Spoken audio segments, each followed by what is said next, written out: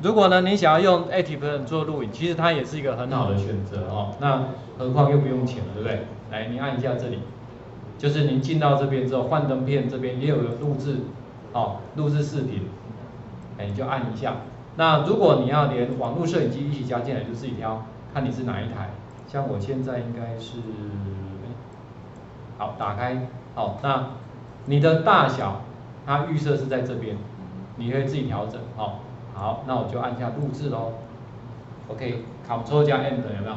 结束，它也有暂停。现在呢，在这边，我再重新整理一下，看刚刚那个有没有下载？哎，还是还没下载，好吧，没关系。那你在录制的过程，这个框是可以移动的。好，如果说你是有框的部分，好像这样可以移动，我再移回来。好，如果录完了，我们按一下右下角快速键，你一定没有记，对不对？没关系，在下面这里有没有看到这个？点一下，哎，按右键还是左键应该会有，点一下左键，有，在这里有没有出来了？你可以暂停，可以这样，好，就停止。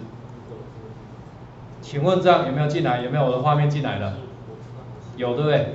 好，那你可以看到哦，这个。是活的，虽然你刚刚没有看到它，可是这个画面是不是可以调整？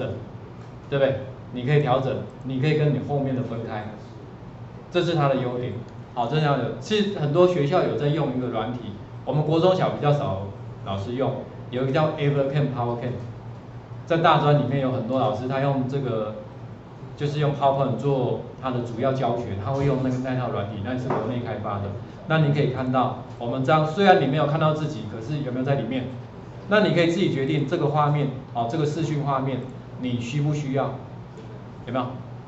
我刚刚这个是我真正的有的，可是这个就是我抓视讯画面的，所以你看这边，对不对？你需要的时候你就自己调整一下，不想出现就自己解决一下，好，这样它的好处。那你可以看到有没有绿屏效果？有看到绿屏了，所以你知道它可以指定颜色就去背。只是呢，你用的这个功能，它就告诉你这付费的，哎，这样子而已。好，所以如果你这样好了，你可以把它输出，当然一样可以剪接哈，那你就可以做一个导出。比如说我们把这里拿掉，拿掉，这样拿出去就好。那我给老师看一下，如果你用的是所谓的就是付费功能，到底浮水印长什么样子？因为这个比较短，所以可以一下就好。因为它可以变成网页，HTML5 的网页，所以甚至它可以做测验。因为这套软体本来就是做什么数位教材用的。我如果没有记错，好像是澳洲的软体了，澳洲的哦。好，我已经输出喽。那我们打开资料夹，这是网页，对不对？那你我就按一下 Index。好，打开 IE 火狐，这个都可以。好，进来了，演示。有没有张影片进来？重点是看一下浮水印长怎么样。